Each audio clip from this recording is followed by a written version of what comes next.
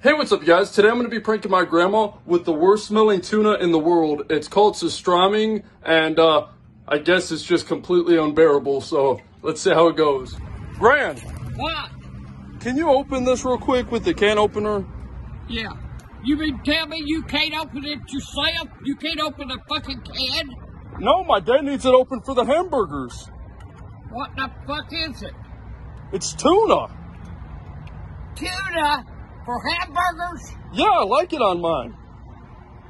Better not put that on mine. What the fuck's that shit squirting out? Open it, Gran. Give me a fucking minute. Have you got it?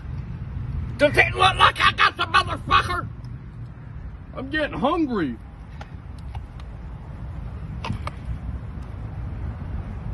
Oh, fuck.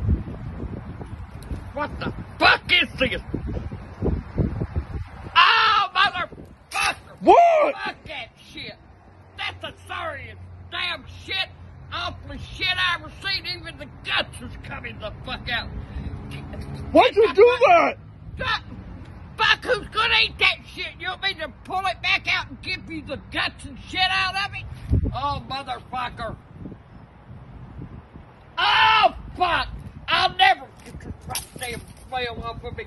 You take that cheap ass motherfucking can opener and that damn shit you got there with the guts hanging out and the stinkingest shit I have ever smelled and stick it straight up your fucking ass. I'm going in the fucking house.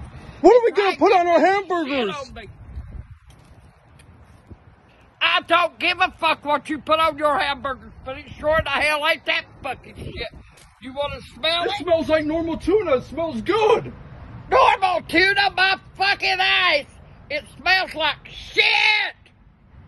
Pure shit.